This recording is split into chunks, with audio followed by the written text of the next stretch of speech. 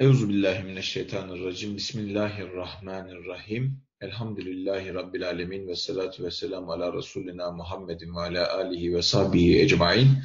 Allahümme allimna ma yenfa'na ve enfa'na bima allamtena ve zidna ilme ve erinel hakka hakkan ve rızukna ittiba'a ve erinel batile batilen ve rızukna ictinabe ve sallallahu ala seyyidina Muhammedin ve ala alihi ve ashabihi ve etba'ihi ecmain. رب اشرح لي صدري ويسر لي أمري واحلل عقدة من لساني يفقه قولي. واجعل لي وزيرا من أهلي. هارون أخي أشتت به أزري وأشركه في أمري. كي نسبحك كثيرا ونذكرك كثيرا إنك كنت بنا بصيرا.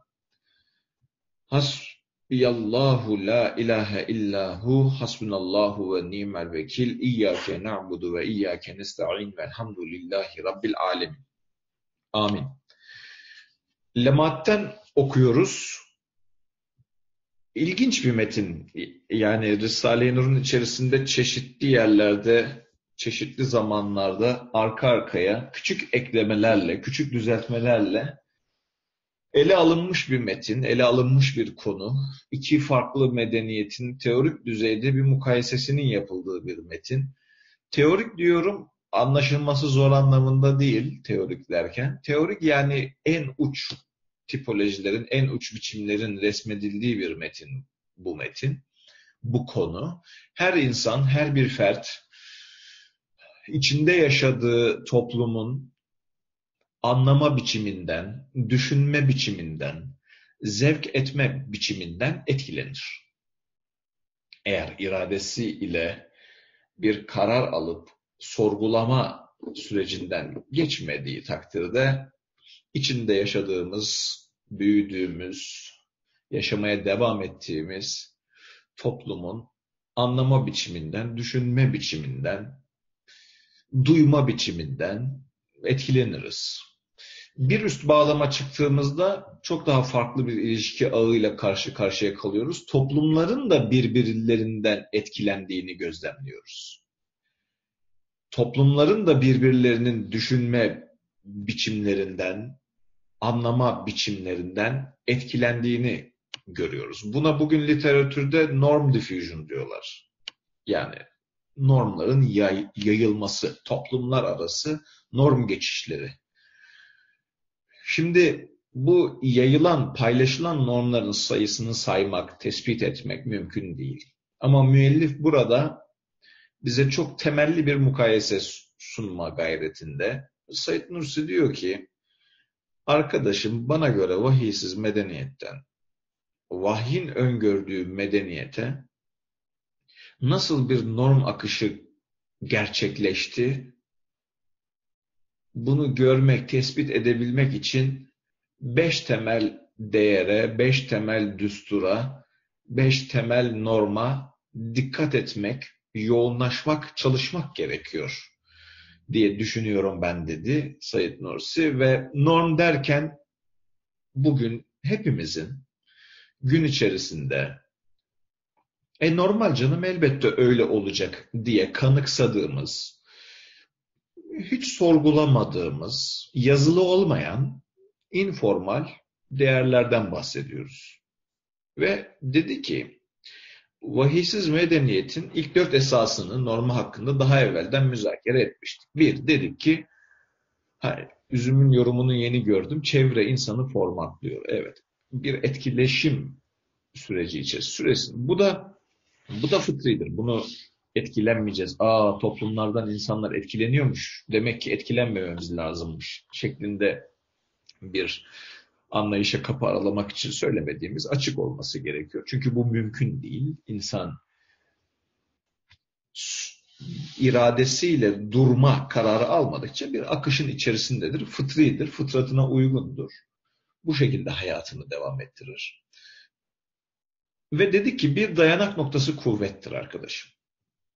Yani insan ancak kuvvetle mesut olur. İnsan ancak kuvvetli olduğu takdirde kendini güvende hissedebilir. Düşüncesi. Dolayısıyla insanın fiillerini meşrulaştıran referans noktasının kuvvet olması. Madem güçlüyüm yaparım. Madem bu ailenin reisi benim, o zaman yaparım. Madem bunun, madem ben güçlüyüm, madem bu markette, bu piyasada en büyük biziz, o zaman bunu yaparız. Bunun çok çeşitli görüntüleri olabilir. Ben öyle küçük bir iki tane çağrışım olsun diye. Fiilleri meşrulaştıran referans noktasının, temel referans noktasının kuvvet olması. İkincisi hedefi hasis menfaattir dedi. Yani burada en çok üzerine arkadaşlarla durduğumuz mesele insaniyeti beşeriyete indirgeyen ve beşeri ihtiyaçların karşılanmasını merkeze alan görüş. Yani yapılan tüm tercihlerde yönlendirici motivasyonun her hal ve şartta, bu çok önemli, her hal ve şartta menfaat olması hali. Ali Mermer'in yorumu gözüme çarptı. Toplumların şartlarını gözün önüne alarak hikmetli davranmanın gerekliliğini unutmamalıyız. Allah razı olsun. Az önce dilimin dönmesini arzu ettiğim ama döndüremediğim, vermek istediğim mesajı Ali Mermer güzel özetlemiş. Evet. Üçüncüsü, hayatta düsturu mücadeledir dedi. Canlılığın devam etmesinin, hedefler üstü bir hedef olarak ele alındığı üzerinde çok uzun konuştuk. Hayatın devamı noktasında takip edilecek tek yöntemin mücadele olduğu anlayışı üzerine çok faydalı, keyifli müzakereler geçti. Dördüncüsü de bağlanmanın özü unsuriyettir dedi. En son geçen hafta bunu çalışmıştık. Yani insan-insan ilişkisinin ne diyelim ona güzel bir kelime bulalım. İnsan-insan ilişkisinin sürdürülebilirliğini belirleyecek temel nokta nedir? bizi birbirimize ne bağlayacak? Ne bağlıyor?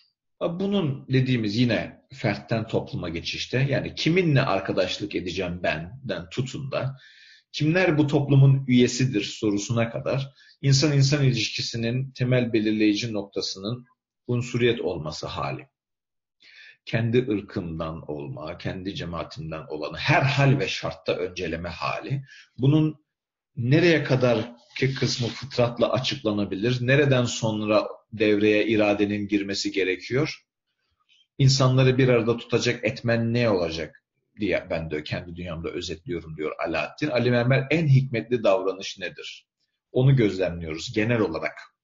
Bu norm analizinde, bu değer analizinde, bu düstur analizinde hikmetli yani benim insan tanımıma, kainat tanımıma, varlık yorumuma uygun ve icra ettiğimde memnun olacağım, insaniyetimin bunu reddetmeyeceği, insaniyetimin reaksiyon göstermeyeceği, vakaya mutabık alacağım tavır nedir? Hikmetli davranış nedir? Bu davranışın arkasında normların, değerlerin çok büyük payı var, etkisi var o yüzden bunu sürekli gündeme getirmek istiyorum diyor Sayit Nursi. Bugün de insan üzerine yapılan çalışmalarda e, Sayit Nursi e, bu açıdan doğru diyor. Yani e, maşallah güzel yere değinmişsin dedirtiyor. Çünkü gerçekten bu adına norm dediğimiz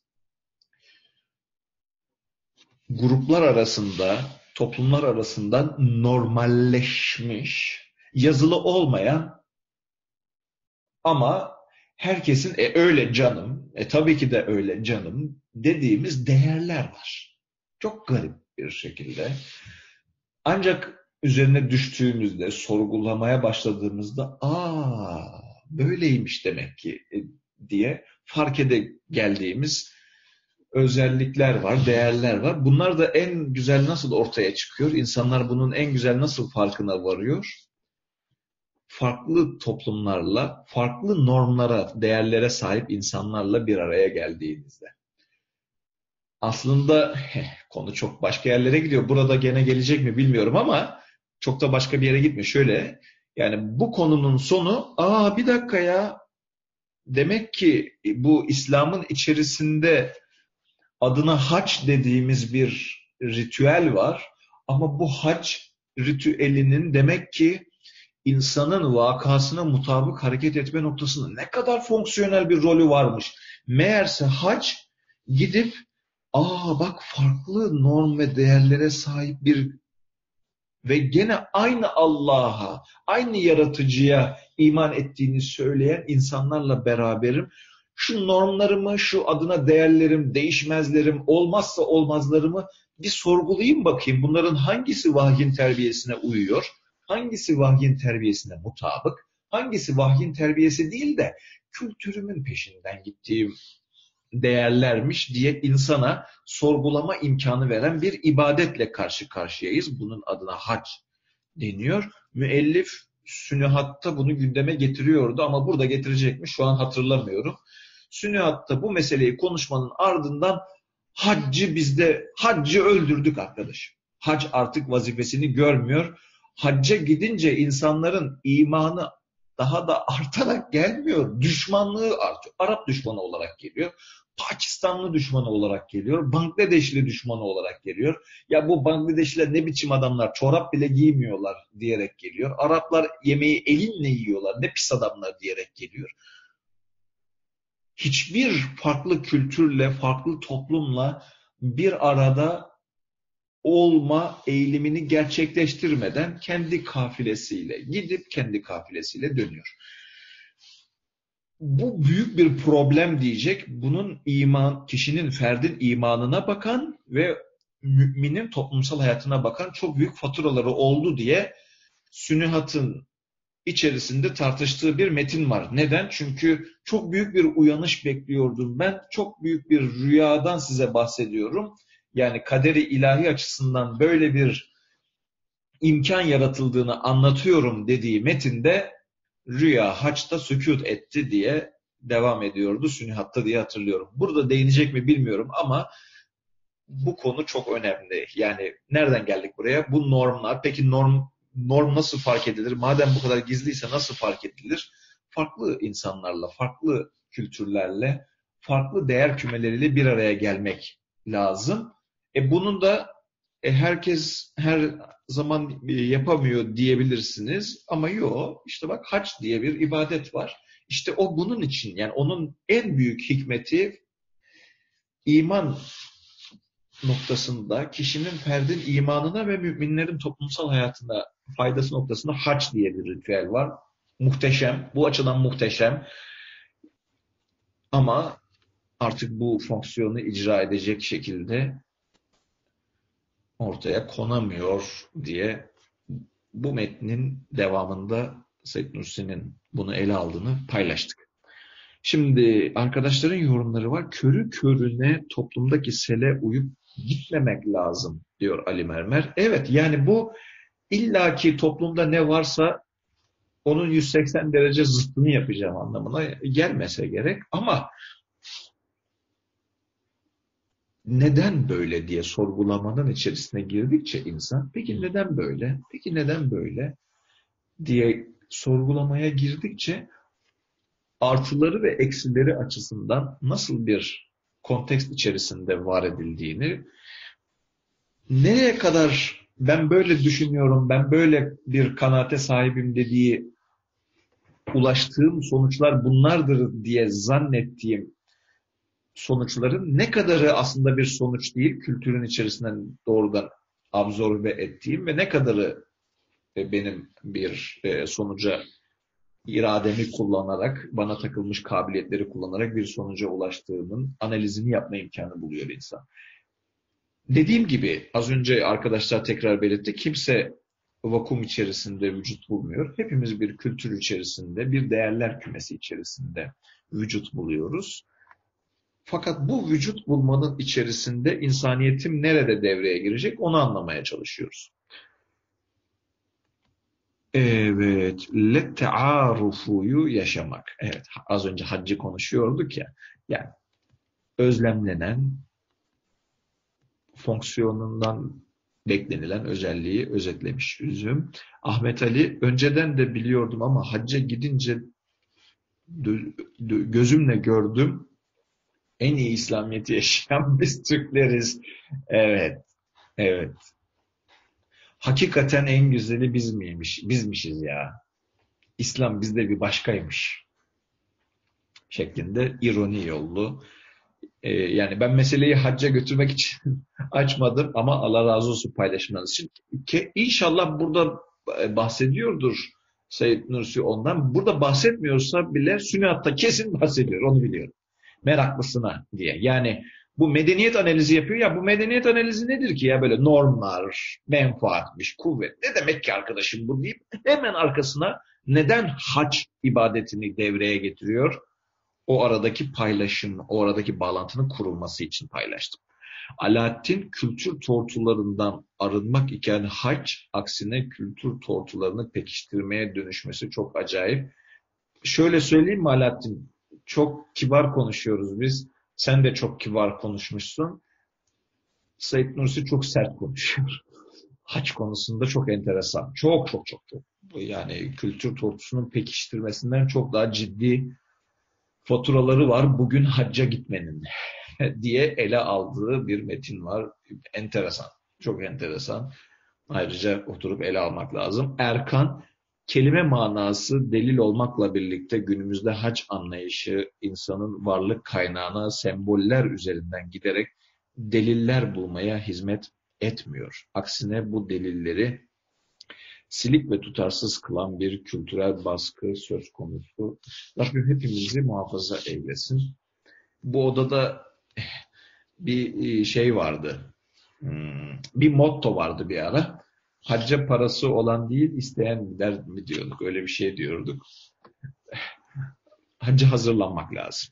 Dua, duasına girmek, hazırlanmak, insaniyetim için anlam, ne anlam ifade ediyor diye çalışmayınca turistik bir geziden öteye maalesef gidemiyor dediğiniz doğru. Ahmet Ali günahlarımızın artmasına sebep oluyor. Allah muhafaza. Hafazan Allah diye.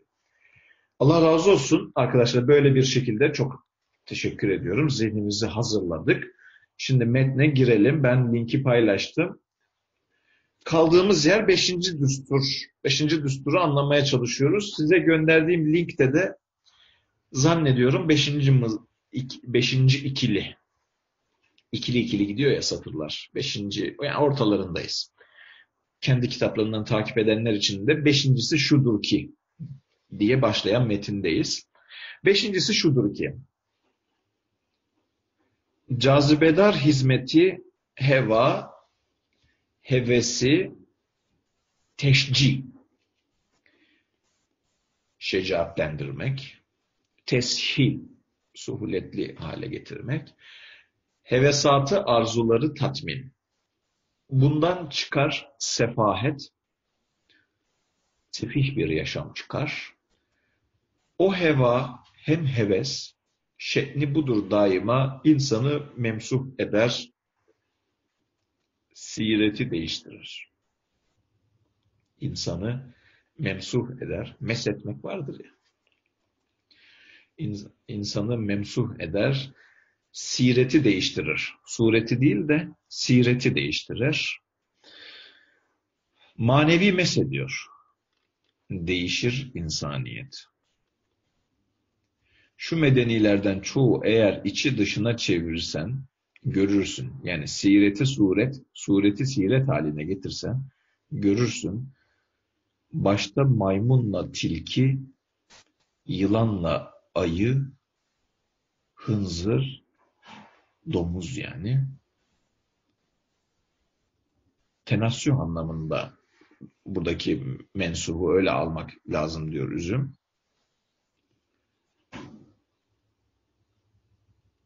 Şöyle mi diyelim yani ona? Gireceğiz, gireceğiz. Az sonra oraya gireceğiz. O yorumunuzu tekrar orada okuyayım. Başta may içini dışına çevirsen görürsün. Başta maymunla tilki, yılanla ayı, hınzır. Sireti olur suret. Gelir hayali karşına postlarıyla tüyleri. İşte şununla görünür meydandaki asarı. Yani ancak şu an medeniyete ve medeniyetin eserlerine gözümüzü yönelttiğimizde bu medeniyetin meyvesi, sonucu, çıktısı, outcome'ı ne oldu dediğinizde başka bir yöntem takip etmeniz gerekiyor diyor Said Nursi. Başka bir yöntem takip etmeniz gerekiyor. Surete bakarsanız aldanırsınız. sireti görmemiz gerekiyor diyor.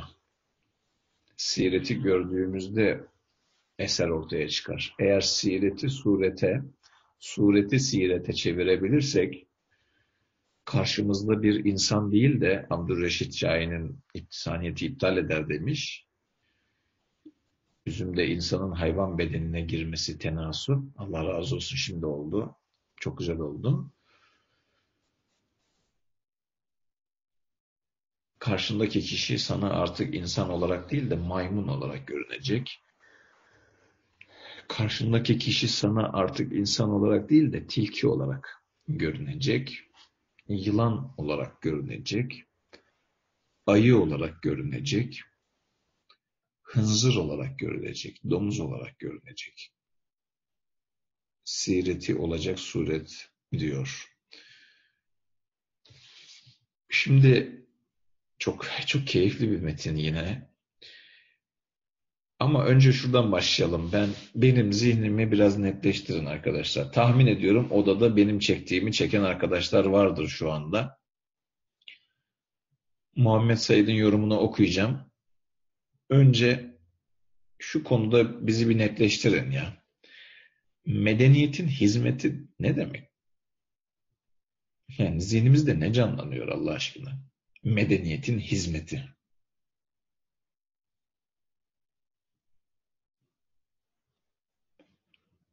medeniyetin hizmeti. Medeniyetin hizmeti budur diye konuşacak ya.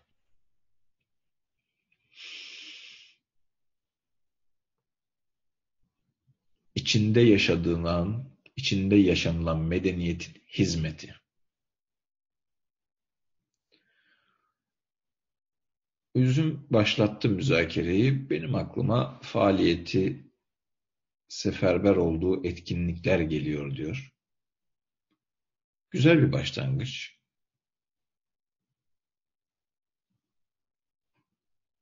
Alaaddin'in yorumunu da Muhammed Said'in yorumuyla beraber okuyacağım. Şimdi zihnimizi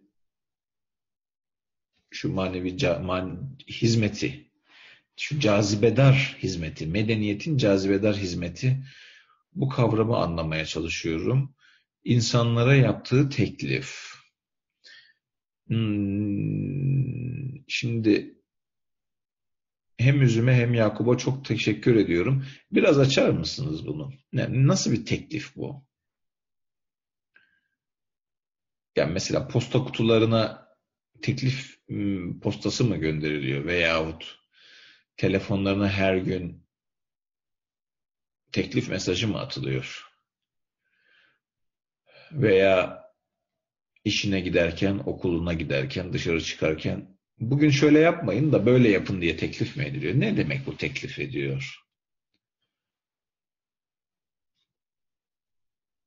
İdeal şudur diye sunduğu çerçeveler de gözlemlenebilir diyor teklifler Yakup.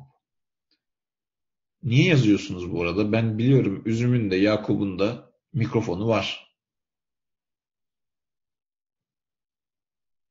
Yakup'un eli havada. Buyur Yakup. Ya ben hizmetten şunu anlıyorum. Ee, yani en nihai olarak bir insana bir kişinin veya bir kurumun veya bir medeniyetin sunduğu, ideal olarak gösterdiği, en nihai olarak buraya ulaşabilirsin. Buraya ulaşırsan mutlu olursun ve kendini güvende hissedersin. Dolayısıyla senin idealin, senin hayatının gayesi şuna şuna şuna ulaşmaktır dediği şeye onun e, hizmeti gibi anlıyorum. Yani e, bu bir insan da olabilir. E, yani görüştüğümüz insanlar da olabilir. Bana ne teklif ediyorsun? E, benden beklediğin nedir? sorusunu bir kişinin kitabına, bir kişinin fikrine, bir kişinin yaşantısına sunduğunda, sorduğunda e, nihai sunduğu çerçeve e, onun ulaştırmak istediği mesaj e, şeklinde hizmeti anlayabileceğimizi düşünüyorum. Peki bu bu dediğin hedef değil mi daha çok? Yani hedefle hizmeti sanki eş anlamlı kullandık gibi hissettim. Evet olabilir. Yani e, şu anda yani hizmeti tam olarak e, yani e, seküler bir çerçeve içerisinde anlamlandırdığımı söyleyemem. Sanki böyle bir çağrışım yaptı zihnimde. O anlamda söylüyorum. Güzel, güzel. Yok bir, bir, bir ilişkisi olduğu kesin. O ilişkiyi anlamaya çalışıyoruz şu an. Ama Allah razı olsun. Başlattığın için de ayrıca teşekkür ediyorum. Muhammed Said'in eli havada. Buyur Muhammed. Ee, hizmeti, medeniyetin hizmetini insan tanımına göre insana muhatap olma maksadı ve biçimi olarak anlıyorum. İnsanı tanımlama biçimi veya insanı e, insan tanımından kastım da bu e, bu insanın benim e, benim e, arayışımın sonu ne olmalı? Ulaşmam gereken şey ne? E, gibi bir sorgulamanın e, akabinde insanın ulaştığı bir sonuç. Demek ki medeniyetin hizmeti aslında bir ulaşılmış sonuç değil de e, çünkü kendi dünyamda insanı maddi olarak ele aldığı için bir e, bir şeyin tekrarı gibi geliyor bana. Yani e, bir sorgulanma yapılsa insanın gerçeği ne aradığı apaçık görülüyor. Yani özet olarak insanı tanımlama tanıma, insan tanımı ve ona o tanıma uygun e, bir e, yaklaşım biçimi medeniyetin hizmeti olarak ortaya çıkıyor diye düşünüyorum. Şu ana kadar elimizde insan tanımı ve insan tanımına yönelik çizilen idealler, insan tanımından beslenen idealler ve e, noktasında arkadaşlar açıklamaları yaptı. Ali Mermer'e bırakacağım mikrofonu. Yorumlar var. Reklamlar, özendirmeler, kampanyalar dedi Üzüm. Bu, bu faaliyet, etkinlikler bunları şöyle toparlayacak bir ifade biçimini arıyorum. Bence çok güzel yerlere işaret ediyorsunuz. Bunları toparlayacak. Aşağıda Üzüm'ün bir önerisini gördüm. Hemen oraya bir zıplayayım önce. Ürettiği, önemsediği, gerçekleştirdiği faaliyetler bütünü. Hmm. Şimdi hizmetin içerisinde bir pratik var. Ee, yani bunu hizmet dediğimiz anda hizmet kavramının içerisinde bunu sokmamız gerekecek. Güzel, çok güzel. Erkan, teknolojinin sunduğu kolaylıklar üzerine bina edilen varlık anlayışı. Bu kolaylıklar insana ne olduğunu düşünmeye fırsat vermeyecek kadar göz kamaştırıcı. Peki çok güzel bir nokta. Çok güzel bir nokta. Zaten bu mesele teknolojiye gelecek diye hissediyordum. E, genelde bizim oturumlarda bu metin ve bu konu çalışıldığında konu bir türlü teknolojiye geliyor. Onu tam halledebildik mi emin değilim. Çünkü neresine dokunuyoruz metnin? Bu teknoloji konusu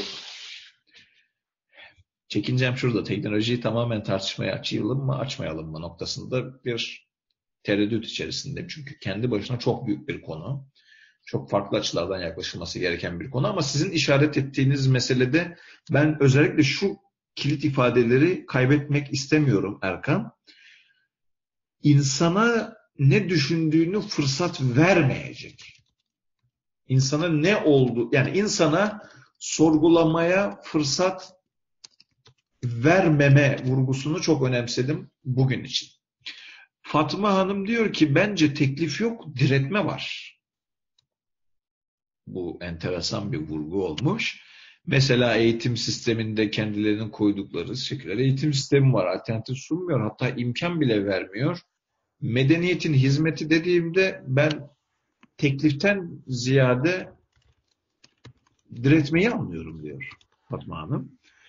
Alaaddin neyi amaçlıyor? İnsaniyetin tatmini mi yoksa insani ihtiyaçları tanımayıp sadece canlı yaşamın yeme içme gibi ihtiyaçların tatmini mi amaçlıyor? Yani insanın tanımı ve amaç kavramını bağlamak gerekiyor diyor Alaaddin. Ali Mermer moda reklam imaj şöhretlerle birlikte ideal çizimlerinden bahsedecek şimdi. İsmail Mutlu medeniyet insanın bir yönüne hizmet ediyor ve aslında bu hizmeti merkeze alarak insana insanı hizmet ettiği yönüne indirgiyor.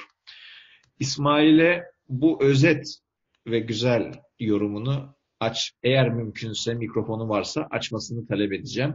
Yakup'un arkasından hemen sıraya girebilir. Çok hoşuma gitti benim. Oradan güzel bir şey çıkabilir diye hissediyorum. Abdüreşit Şahin de orada. Güzel. Buyurun arkadaşlar. Ali Mermer'den başlayalım.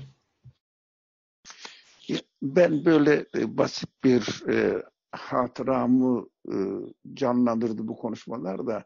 Bir zamanlar müfettişti, müfettişliğim gereği. Şimdi e, e, e, reklam, yok reklam değil de ne diyorlar? Onu marka olan, herkesin hayran olduğu, beş kuruşluk bir şeyi 50 kuruş 50 kuruşa satan bir firmaya teftişe gitmiştim.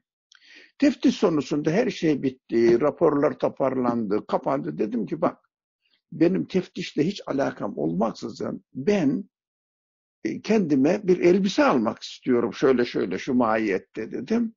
Dediler ki olur biz gelin ben siz, biz seni bir e, ama parasını vereceğim öyle bedava. Tamam kabul ettiler. Çünkü iş bitmişti zaten. Teftiş işi bitmişti. Beni bir odaya götürdüler. Götürdükleri odada bana dediler ki şu takımı al. Acayip bir şeydi. Hiç görmediğim bir şey. Ya ben bunu giyemem dedim. Yok yok yok dediler. Yok yok yok. Herkes bunu giyecek dediler. Allah Allah. Adamlar üretmişler depo dolu. Ee, e, bu dedi sen yani önden gidersin. Peki nasıl yapıyorsunuz bunu dedim ya. Şu e, sunucular var ya televizyonda. Sunucular. O sunuculara bedava bu elbiseyi veriyoruz. Bir şartla. Sunuculuğunu bu elbiseyle yapacaksın. Tamam anlaştık. O da anlaştık. Nasıl olsa herkes senin arkandan gelecek. Korkma. Böyle imajlar kullanıyorlar. Şöhret kazandırdıkları kişileri celebrity derler ya İngilizce'de. Kişileri televizyon bilmem nesi diyorlar onlara. Ne diyorlar? Türkçe'de bir şey diyorlar. Bir arkadaş yardım ediversin. Ee, onlara onları insanlara imaj olarak kullanıp kendi ürettiklerine no, sponsorluk değil. Me meşhurlara şöhretin bir şey için söyleniyor da onu. Ha, yıldız yıldız. Televizyon yıldızlarına sinema starlarına böylece onlar için bir önce toplumda bir statü tayin ediyorlar en ideal adam diye. Ondan sonra o ideal dedikleri adama kendileri yeni bir üretim sunuyorlar. Ama acayip olsun. Bu e, eskiden e, geniş paçalı o bir ara modaydı. Sonradan dar paçalı. Şimdi erkekler de tight giyiyorlar. Tight yani vücutlarını kadınlar gibi sıkı sıkı bağlayan pantolonlar falan giyiyorlar. Bunların hepsi önce insanları bir efsunlaştıracak şekilde en ideal adam bu denecek figürler uyduruyorlar ortaya çıkartıyorlar. Sonra o figürler aracılığıyla tüketiciliği insanları büyüleyen, efsunlayan e, yönüyle ta, e, teşvik ediyorlar ve o ellerinde oynuyorlar insanları. Bak bunu ben bizzat yaşadım. Bunu bir paylaşı vereyim dedim.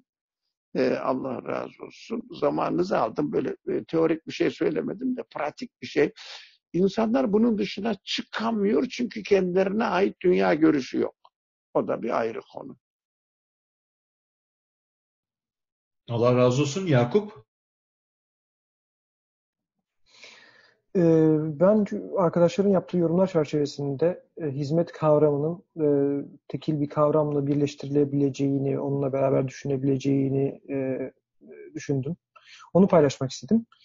hizmetin baktığı kavramın, hizmetin e, hizmet şeklinde kullanılabileceği kavramın ihtiyaç e, olduğunu e, fark ettim kendimce. E, belirlenen ihtiyaçlara göre insanlar, e, toplumlar hizmet vurgusu yapar gibi geliyor.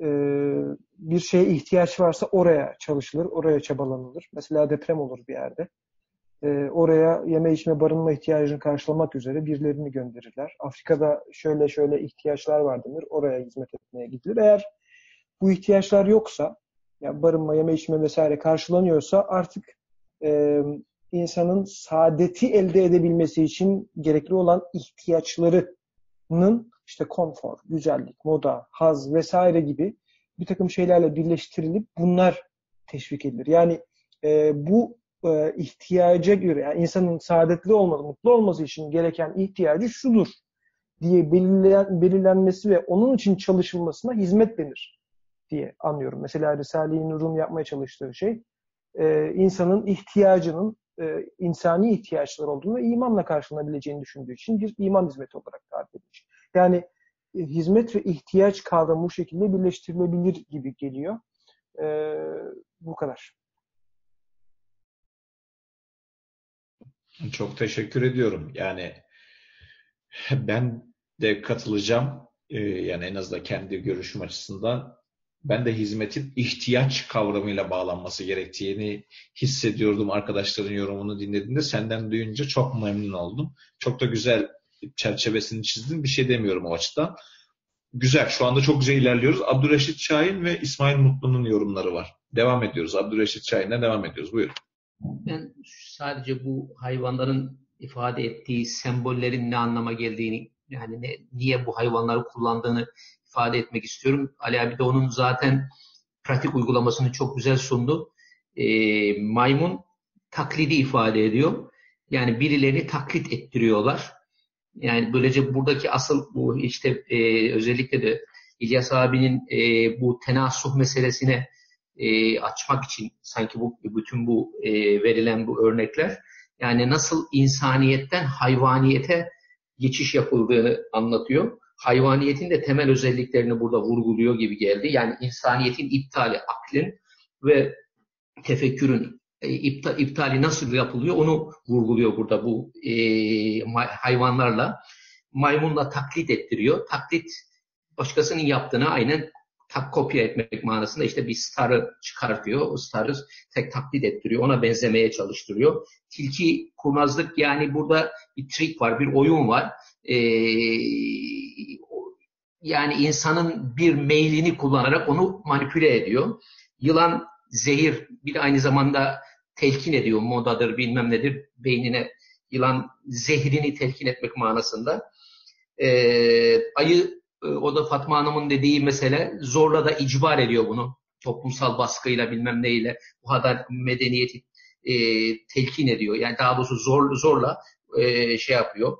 E, insanları baskı altında bunları yapmaya zorluyor. İnsanlar mecburen etrafına bakarak herkes böyle yapıyor ben de böyle yapayım yoksa ayıplanırım falan gibi duygularla e, işte şey de işte ayı da şey gücü temsil ediyor. En sonunda domuz, domuzlaşınca da zaten artık hissizleşiyorsun. İnsani özelliklerin bitmiş oluyor. Tamamen e, yanlıştan ve e, şeyden e, nasıl söyleyeyim insaniyetten uzak tavırlardan tavırları umursamaz hale geliyorsun. Umursamaz bir duruma geliyorsun. E, ki zaten o zaman da muvaffak olmuş oluyor. Sanki bu e, şeylerle, hayvanlarla bu meselenin yani tenassuh meselesinin nasıl bu vuku bulduğunu bize özetliyor gibi geldi. Ben sadece bunu vurgulamak istemiştim. Yani bu hayvanların tercih edilmesi de önemli diyorsunuz. Yani mesela kurbağa dememiş de ayı demiş. ayı dendiğinde yani bir sembolik anlamı olduğu noktasında bence çok çok hoştu. Yani met, metinle ilişkili görünüyor. İsmail'e bırakmadan önce, İsmail'in elinden eli kalkmadan önce bir iki yorum vardı. Onları okumak istiyorum hizmet ürettiği, önemsediği, gerçekleştirdiği faaliyetler bütünü. Bunu okumuştum. Ahmet Ali telefonum olsun, arabam olsun, param olsun. Bunun için toplu yaşamalıyız. Toplu yaşamayı daha çok üretim, daha çok tüketelim, ihtiyaçlarımızı arttıralım diye zaruri ihtiyaçlarımızın dışındaki ihtiyaçlarımızı zaruri hale getirmesi için toplum oluşturma. Şunu diyecektim bu arada biraz daha ileri bir zamanda bu metni ele aldığında müellif ihtiyaçları tezyit diye bir kavram da ekleyecek bu analizin içerisine. Tam da bu maddenin içerisinde ihtiyaçları ziyadeleştirme maddesi ekleyecek. Ahmet Ali oraya parmak basmış. Ali Mermer teknolojinin pratik yardımlar sunmasını mesela bilim adamları kendilerinin dünya görüşünün haklılığına delil olarak sunuyorlar. Bir türlü üçkağıtçılık bu yaptığınız vurgu çok önemli. Yani ben işte az önce düşünürken düşündüğüm konulardan bir tanesi de buydu. Yani teknoloji meselesi dediğimizde işin içerisine insan, bilim, bilim, felsefe tartışmaları bunların hepsine girmemiz gerekiyor. Girmediğimiz zaman işin içinden çıkamıyoruz. E, bu, çünkü bu noktada bilim içine girdiği noktadan bir tanesi de bugün bilimin ortaya koyduğu dünya görüşünün hakkaniyet, haklılığının delili olarak ulaşılan teknolojik birikim gösteriliyor ki burada bir aldatmaca var. Yani bir insanın bu geçişi yapması mümkün değil. Neden dediğimizde o başka bir müzakereye gidiyor ama bu önemli bir noktaydı. Allah razı olsun. Bunlar konuşulurken yazılan yorumlarda geçiyorum. Erkan, modern işletmede hizmet kavramı parasal değeri olan mal ve üretim biçimleridir ki bunlar artık günümüzde davranış ve anlayışları da kapsar hale geldi. Bu anlamda eğitim insani bir eylemden öte ticari bir metaya dönüştü. En pahalı olanı da akademik çevrelerde bir kelime ben ekleyeyim rahatlıkla görülüyor. Ahmet Ali insaniyet dışı hallerden meş'um bir lezzet alıyor yılanın zehirlemeden aldığı lezzet gibi. Abdülreşit Şahin'in az önceki yorumuna ilave olarak yazdınız. Abdülreşit'e ilave olarak şunu söyleyeyim diyor Ali Mermer. Kur'an'da kunu kradeten hasi ifadesiyle maymun gibi olun diyor. Maymun örneğini sunuyor ben de hangi ayet diye daha evvelden bu maymun Kur'an'daki bu maymun ve maymunlaşma meselesini konuştuğumuzu hatırlıyordum. Fakat bu hangi e, surede onu paylaşır mısınız? Ben, merak, gerçi yani küçük bir search'te bulunabilir belki de. Sadece merak ettim şu anda. Eğer paylaşırsanız memnun olurum. İsmail Mutlu'ya bırakıyorum. Buyur İsmail. Şunu vurgulamak istedim. Ee, burada bir medeniyetin e, hizmet ettiği şey üzerinden tasnif edilmesi, yani dünya görüşlerinin hizmet ettiği hizmeti üzerinden tasnif edilmesi bana çok önemli geldi.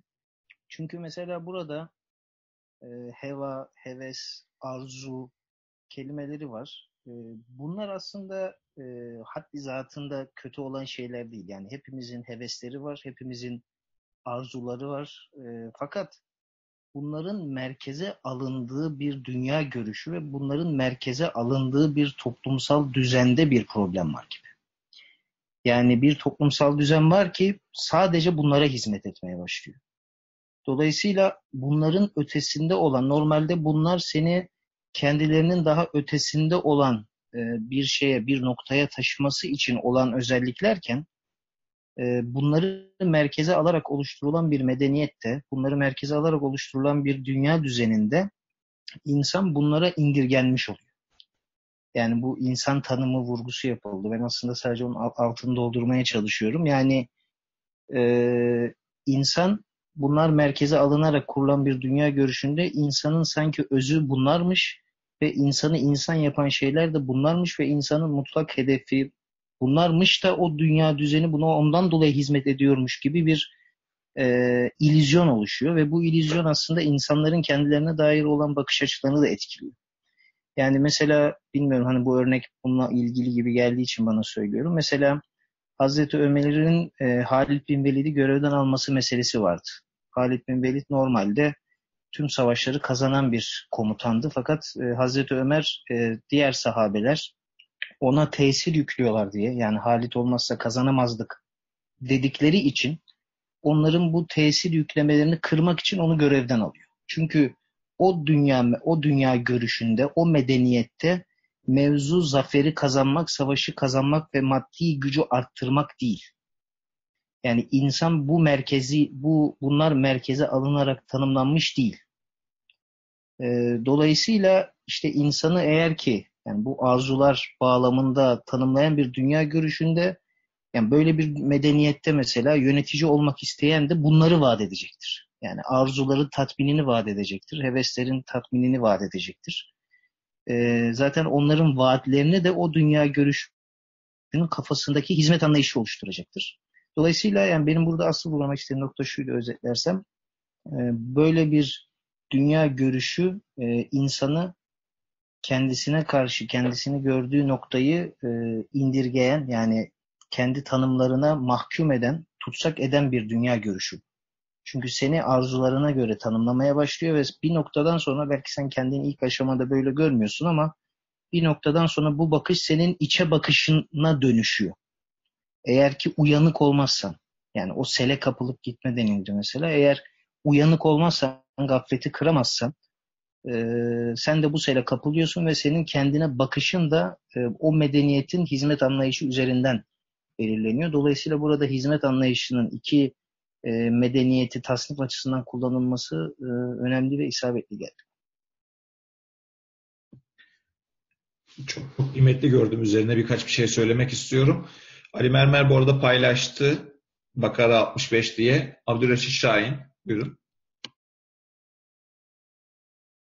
Ee, ben e, ben de İsmail'in e, vurguladığı meseleyi çok önemli buldum. Burada e, bir hayat tarzını nasıl dayatıyor onu anlamak açısından bir örnek vermek istiyorum. Şimdi insanı dört unsurdan algı, olarak dört unsur şeklinde algılayabiliriz. Bunu 24. söze işaret ediyor. İnsanın nebati yönü, insanın hayvani yönü, insanın beşeri yönü ve insanın meleki yönü diye dört kısım ayırabiliriz. İnsanın beş, hay, e, şey yönü, nebati yönü e, insanın cesedine bakıyor. Cesedinin gelişmesiyle alakalı bir şey. İlginçtir. Mesela yemeği çoğalttığınız zaman yemeği çoğalttığınız zaman lezzet azalmaya başlıyor.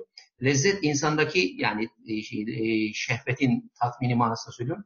Lezzet insandaki hayvani yön, e, besin besin ise insandaki bitki, bitkisel yönü arttırıyor. Bitkisel yönü ağırlık vermeye başladığınız zaman hayvani yönü öldürmüş oluyorsunuz. Çoğalt, onu çoğaltırsanız hayvani yön lezzet alma e, şeyi azalmaya başlıyor.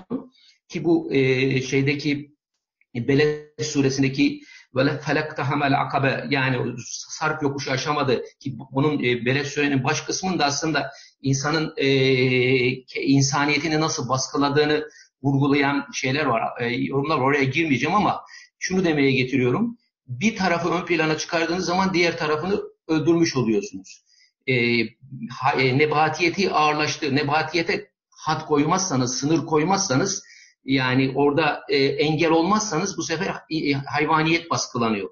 Aynı şekilde hayvaniyeti de ön plana çıkardığınız zaman yani hevayı, hevesi, şehveti ön plana çıkarttığınız zaman insanın düşünme melekesi ortadan kalkıyor. Mesela çok e, aşırı lezzet düşkünü olan insanlar ve obeziteye zaten sebep oluyor. Hayvaniyet ve e, e, nebatiyet artmaya başlıyor. Bu sefer insanın düşünme melekesine engel olmaya başlıyor ve e, eşya üzerinde yorum yapan, düşünen yönünü yani beşeri yönünü iptal etmeye başlıyor. E, siz işte e, insan genellikle e, burada insaniyete engel olan ve beşeriyet ve insaniyet e, e, yönünü engelleyen şey heva ve heves ki heva ve heves tabirleri daha çok şehvete bakan özellikler olduğu için hayvaniyeti teşci manasına geliyor. Ne kadar çok hayvaniyete hizmet ederseniz onun önünde olan beşeriyete ve e, insaniyete, melekiyete engel olmuş olursunuz. Bu medeniyet de hayvaniyeti ön plana çıkarmak suretiyle hayvani yönünü, insanın hayvani yönünü sürekli beslemek cihetiyle veya beşeri yönünü de olabilir. Burada beşeri yönü daha çok insanın e, eşya üzerindeki bilgi yani e, bilgi edinme yönü, malumat yönü, malumat edinme yönü veya işte artık sanat da diyebiliriz burada. E, o yönünü ne kadar ön plana çıkarsanız bu sarf yokuşu aşamıyorsunuz, bir üst mertebeye çıkamıyorsunuz. E, bu bu anlamda e, medeniyet insanın bu özellikle hayvani ve beşeri yönünü çok ön plana çıkartarak insaniyeti burada baskılıyor. İnsani yönü de ya daha doğrusu meleki yönü de e, eşya üzerinden eşyayı şey mesela nimet üzerinden münime götüren yani onun e, verilmişliğine vurgu yapan insanın yönüdür. Bu yönünü bastırmış oluyoruz ve iptal etmiş oluyoruz.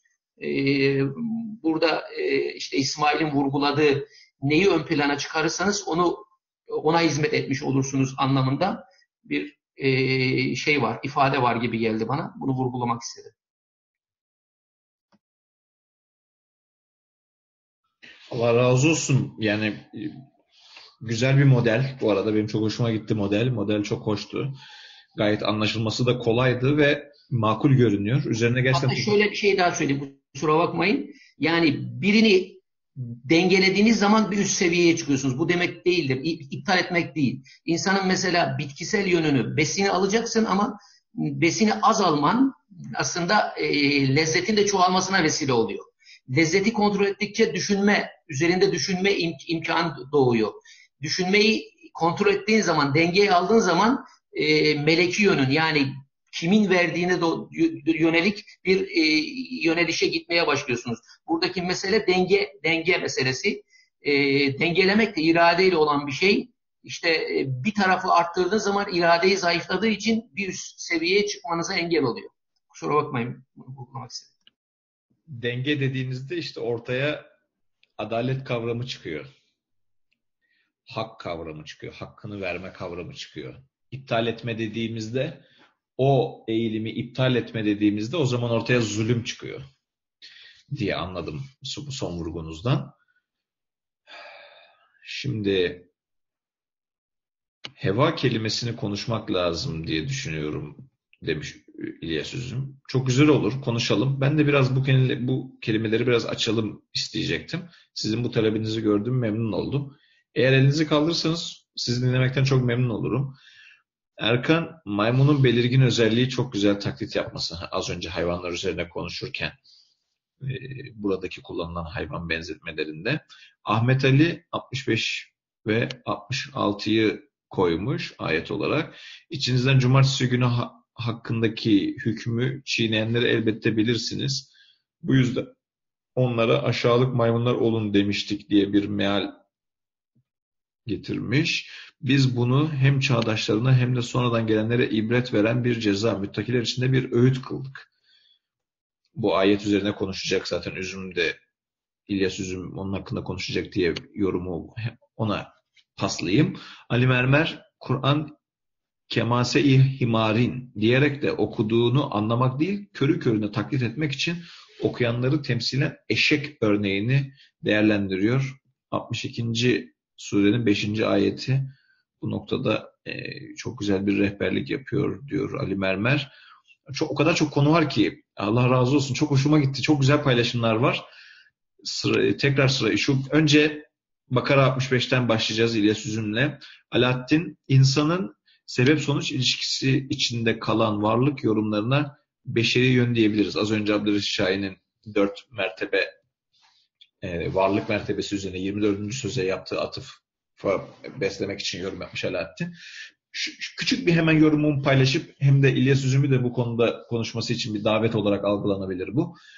Şimdi bu hizmetin ihtiyaç kavramıyla ilişkisini tekrar vurgulamakta fayda var diye anladım ki İsmail ve Abdülreşit Şahin'in kavramları ve Muhammed Said'in o açtığı e, onların bir toplamı gibi gördüm ben. İhtiyaca yönelik oluyor. Dolayısıyla bu medeniyet insanın hangi ihtiyacını karşılamaya adanmış durumda? Ve o zaman bu soruyu sorduğumuzda insanı nasıl tanımlıyor dediğimiz ilişki ortaya çıkıyor ve Abdülreşit Şahid'in en son çizdiği tablo bana şu kavramı hatırlattı. Çok meşhur bir kavram. ihtiyaçlar hiyerarşisi. İçinde yaşadığımız toplumda bu da bir norm bugün. Yani ihtiyaçlar hiyerarşisi dediğimizde hangi ihtiyaç benim bu hayatın içerisinde varlığımı devam ettirme artı varlığımı mutlu ve güvenli bir şekilde devam ettirme noktasında merkezidir dediğimizde ihtiyaçlar hiyerarşisi çıkıyor insanın önüne. Öncelikler ortaya çıkıyor. O onu çok güzel modelledi Abdülreşit Şahin. O yüzden onun üzerine konuşmayacağım. Dolayısıyla o zaman şöyle diyebiliriz. Yani toplum hayatına katılma noktasında, insanları mobilize etme noktasında, yönlendirme noktasında en büyük hizmeti ne sorusu arkadaşların ilk başta gündeme getirdiği ve Ali Mermer'in verdiği örnekte de aslında o arkada gizli bir şekilde vardı. En büyük vaadi ne sorusu, sorusu o zaman ortaya çıkıyor. Yani ben bu medeniyet anlayışının hakim olduğu bir toplum hayatına katıldığımda ne elde edeceğim? Sorusuna cevap buluyorum ben bana sunulan servislerden ve hizmetten. Ve diyor ki İlyas Üzüm'e bırakacağımız noktada bir tanesi burasıydı. Heva ve hevesi şecaate getirmesi. teşcih etmesi. Çok enteresan, çok çok enteresan bir ifade. Heva ve hevesi cesaretlendirmek ne demek ki? Yani acaba şu mu diyorum? Ben sadece anlamaya çalışıyorum. Bize tefekküre malzeme olsun diye söylüyorum. İnsanın potansiyel olarak insanda bulunan ve ona hayvaniyet dedi Abdülreşit Şahin. O duyguları uyarmak mıdır? Uyandırmak mıdır? Aktive etmek midir? Heva ve hevesin şecaate gelmesi ifadesi çok enteresan bir ifade olarak göründü bana. Arkadaşların yorumlarından buraya değinen yönler vardı ama doğrudan bunu merkeze alıp bu terminolojiyi kazanalım istiyorum. Bir dakika. Heva ve heves bu denli cesaretlenmemeli arkadaşım diyebil, diyebilelim istiyorum. Bunu nasıl bunu diyebilmemiz için bunu anlamamız gerekiyor. İkincisi heva ve hevesin teshili. Şimdi bu bu suhuletli hale getirme, kolaylaştırma. Bunu genelde arkadaşlar ulaşılabilir hale getirme anlamında biz anladık hep. Yani bugün içinde bulunan medeniyetin sunduğu imkanlara baktığımızda heva ve hevesi tatmin edecek alet, edevat ve e, hizmet biçimlerine ulaşma noktasındaki kolaylık aklımıza geliyor ama bu yorum bizi çok coğrafya merkezli bir yoruma götürüyor. Yani sanki bu sıkıntıyı çeken sadece Amerika, İngiltere, Fransa, Avrupa ülkeleri, bilhassa Batı Avrupa ülkeleri gibi varlıklı ülkelerin bunu temsil ettiği şeklinde. Yani Afganistan'a gittiğinizde, Bangladeş'e gittiğinizde böyle bir problem yok demeye getiririz. Yani çünkü teknolojik olarak çok zayıf, ekonomik olarak çok zayıf. Bu tarz imkanların fazla olmadığı yerde bu medeniyet yaşamıyor mu zannediyoruz bugün? Eğer böyle bir zan içerisindeysek ben hemen bayrağı kaldırıp challenge demek isterim. Yok öyle bir şey. Çünkü diye de konuşmak isterim. O zaman burada yapacağımız bu suhulet, yani bu kolaylaştırma, heva ve hevesi kolaylaştırma argümanını biraz daha açalım istiyorum. Bu ne demek? Bu fiziksel olarak bir kolaylıktan öte bu teslim ne anlama gelir? Bu noktada yardımcı olabilirseniz çok memnun olurum. Ve hevasat ve arzuları tatmin noktasında Yakup'u ağzından çok güzel bir ifade e, çıkardı. Bana da siyaset felsefesinin kurucu babalarını hatırlattı. Yani şimdi bugün içinde yaşadığımız medeniyetin kurucu babaları, kendi tabirleriyle kurucu babalarının çok merkezi bir anlayışı var. Amacımız yaşamak değil diye. Amacımız yaşamak değil. Bu hayvanların amacıdır. İnsanın amacı iyi yaşamaktır. İnsanın amacı iyi yaşamaktır diye. Hani dediler ya insan tanımı dedi Muhammed Said Yakup diğer arkadaşlar insan tanımı dedi. Nedir bu insan tanımı dediğimizde? Bu arkadaşların kilit ifadesi iyi yaşamak.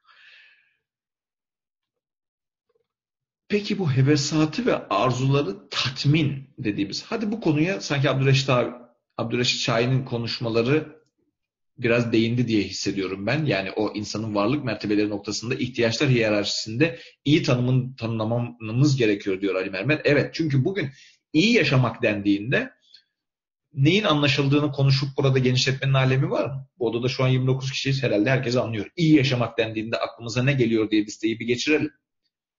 Arkadaşım mesele yaşamak değil. İyi yaşamak dediğimizde aklımıza ne geliyor? Daha geniş bir ev, daha teknolojik bir ev, akıllı ev diyorlar şimdi. Akıllı ev, akıllı fırın, akıllı akıllı telefon, akıllı saat. Daha iyi yaşamaktır dendi ve medeniyet bu noktada ilerlemeye devam ediyor. Biz burada arkadaşlar vahiden aldığımız veya almaya çalıştığımız terbiyede ne diyecek onu çalışacağız. Ama ben şu heva ve hevesi teshil, heva ve hevesi şecaate getirmek bu konu netleşsin istiyorum. Önce üzüm, sonra Abdülreşit Şahin. Ee, ben aslında hevayı konuşmak için e, tarafta bulunmuştum. O sırada bu künü gradeten hasiyin ayeti nerede geçiyor deyince ben Bakara 65'te yazdım alta. Sonra siz de o ayet hakkında konuşulacak deyince demek kader bunu konuşmamı istiyor diye aklımdan geçti. E, oradan başlamak istiyorum uzatmadan. Şimdi bu ayette benim dikkatimi çeken şey şu. E, Yahudiler e, e, sert günü konusunda haddi aşıyorlar ve bunun üzerine Allah da onlara diyor ki siz e, aşağılık maymunlar olun. Şimdi tefsirlere bakınca e, en çok tartışılan gerçekten bunlar e, fiziken de maymun oldular mı? Yoksa bu da mecazi bir ifade mi o bu yolun? Halbuki e, ben şuraya bakmak gerektiği kanaatine ulaştım ayeti e, anlamaya çalışınca. Ayet diyor ki onlar sebt konusunda haddi aştılar. Şimdi tefsirler diyor ki sebt konusunda onlar haddi aştılar. Şu demek cumartesi günüyle ilgili Yahudilere dönük yasaklar vardı. E, işte ateş yakmayacaksınız, odun toplamayacaksınız ile ahir. Buna riayet etmediler. Yemek yaptılar, ateş topladılar. Dolayısıyla Allah onlara böyle söyledi. Bu ifadeler de yok metinde. E, tefsirler bunun üzerine yoğunlaşıyor. Halbuki sep gününde bunların haddi aşmaları ya da sep günüyle ilgili olarak, cumartesi günüyle ilgili olarak onların haddi aşmalarını ben şöyle düşündüm. E, Allah'a dinlenme isnat ediyorlar. Bu uluhiyete çok aykırı. E, Allah'ı kainat cinsinden düşünmeyi, varlık cinsinden düşünmeyi, insanileştirmeyi, hani antropomorfik anlayış diyoruz Yahudilerdeki uluhiyet anlayışı, onu çağrıştı. Bu büyük bir Allah'a iftiradır. Büyük bir haddi aşmadır. Ee, Allah'a dinlenme, isnat etmek. Ee, Allah'a yoruma isnat etmeyi de bu beraberinde getirir dolayısıyla. Onların böyle bir ilahi itaba e, ne diyelim, e, düçar kalmaları uluhiyet hakkındaki e, yanlış e, haddi aşmanın kaynaklandı diye e, ben en azından öyle yorumluyorum. Ayet bilgi söyleyeceğim bu. Şimdi bu heva kelimesini konuşalım diye ben not yazmıştım. Heva ve heves e, kelimesi yani sözlükleri herkes biliyor. Nefsani arzular diye e, açıklanıyor. Biraz ben bunun biraz sizin tabirinizle vaktinde kullansam deşilmesi gerektiğini, irdelenmesi gerektiğini düşündüm. E, heva e, arzularsa eğer, normal arzularsa bu normal arzuları, taleplerimizi, arzularımızı hevadan ayıran nedir? Ya da arzularımızın bir kısmını heva e, alanına çeken nedir? E, e, ayıklamak lazım diye düşündüm. Vardığım sonuç e, şu, e, eğer e, insan temelinde e, düşünürsek eğer, vicdanımızın onayladığı biçimde biz arzularımızı e, gerçekleştirmek istiyorsak, hevamıza uymuyoruz. O arzular, yani vicdanımızın onayladığı arzular, fıtri arzular, normal arzular, heva değil. Ama e, bizim bedeni olarak bize konmuş, sınır konmamış duygularımız da var. Ama vicdanımız bunları onaylamıyor, doğru değil diyor biz. Her şeyi yemek istiyoruz, her şeye ulaşmak istiyoruz. Her ihtiyacımızı ya da her hazımızı yaşamak istiyoruz, her lezzete ulaşmak istiyoruz. Fakat vicdan buraya sınır koyuyor. E, şunlar şunlar doğru değildir diyor. Ha, nefsimiz o istediği halde. Dolayısıyla e, hevayı e, normal arzulardan ayıran e, budur gibi e, ben düşündüm. Biraz bunun üzerine e, teamül edelim diye söz almak istemiştim. Uzatmayayım. E, teşekkür ediyorum. Özür diliyorum. E, özür, özür diliyorum diyorum. Çok te çok teşekkür ederim. Zihnimde başka bir şey vardı. Çok özür Allah Allah. Allahu Ekber. Şunu diyecektim. Dinlenen Allah dediniz ya, Allah'a dinlenme izafe ediliyor. Bu kainatın var edicisine dinlenme izafe ediliyor diye. İlyas'a bir soru sormak istiyorum dedi Ali Mehmet. Cumartesi yasağında sınırı aşmak neden maymunluk ile tanımlamanın yorumu nedir ya peki? E, işte Allah'a e, dinlenme isnat etme, hatta aşmaları uluhiyet konusunda. Cumartesi Allah dinlendi dediğiniz zaman siz uluhiyet konusunda haddi aşan, doğru olmayan, e, onu in, varlık cinsinden, insan cinsinden, kenet cinsinden düşünmeyi çağrıştıran bir haddi aşma söz konusu. Dolayısıyla bu sizi aşağılık hale getiriyor e, ya da aşağılık hale gelin e, itabına sizi büyüçer kılıyor. Çünkü burada büyük bir e, e, şaklabanlık var e, diyeceğim. E, bilmiyorum meramlı ifade etmiş olacak mıyım? Şaklabanlık var. Doğru değil. Yani insana ilişkilendiriyorsunuz. E, insana benzetiyorsunuz. E, o sonsuz mutlak varlığı kendiniz gibi kendinizi yerine koyuyorsunuz tabiri caizse. Şaklabanlık yapıyorsunuz. Allah da künü gradın hasin diyor diye anlıyor.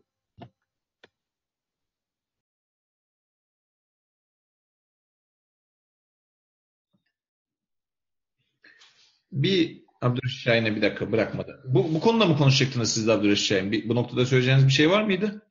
Kapattınız. Hemen size bırakacağım. Şeyi, şunu evet, evet ben de o konuda bir şey söyleyecektim. Ben e, İlyas abinin yorumunu doğru bulmakla birlikte burayla çok bağlantılı olduğunu düşünmüyorum. cumartesi yasağı meselesi insanın kendisine bir e, yani Allah insana bir had koyuyor. İnsan e, bu hadde riayet etmesi gerekiyor. İnsanın özelliği, heva ve hevesin özelliği haddi aşıyorlar. Yani dinlemiyorlar. İşte burada maymunluk özelliği bence çok önemli. İnsanın haddini aşmasını sebep olan şeylerden biri de insanın taklit özelliği. Taklit mantığı ortadan iptal, mantığı iptal ettiği için haddi aşabiliyor. Yani sınırları tanımıyor. Bu açıdan önemli. Bence burada insana sınır koymuş. Allah demiş ki her şeyi yapabilirsiniz, her zaman çalışabilirsiniz ama cumartesi yapmayacaksınız. Niye? Önemli değil. Burada insana, insanın duygularına bir sınır koyma özelliği var. Bu sınırı koymazsa insan e, diğer duygular, bir önceki hali yani hayvaniyeti veya beşeriyeti baskın, baskınlaşıyor ve diğer bir üst seviyeye çıkmasını engelliyor. Bu da yine e, işte e, sarp yokuşu aşmakla alakalı bir mesele. Yani insanın kendisine sınır koyarak sınır koyduğunuz zaman cumartesi düşüneceksin. Ya ben niye bunları yapıyordum?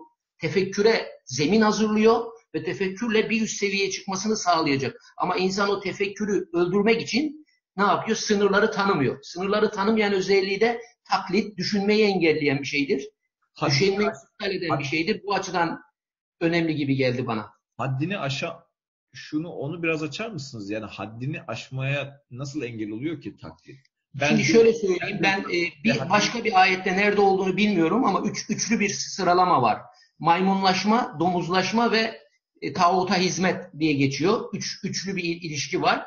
Maymunlaşma taklidi, e, taklitle alakalı. Taklit insanda düşünme melekesini iptal eden bir vesiledir. Yani taklit eden insan niye yaptığını bilmez. Herkes yapıyor, ben de yapıyorum diyerekten. Herkes yapıyor, ben de yapıyorum diyen bir insan zamanla buna alışır. Alıştıkça da e, yanlışlığını sorgulamaz hale gelir, domuzlaşır. Yani hissizleşir. Yani ne olmuş ki yani dermeye başlar. Ne olacak, ne, ne, ne olmuş ki yani. Yaptığı şeyin yanlışlığını anlayamaz hale gelir.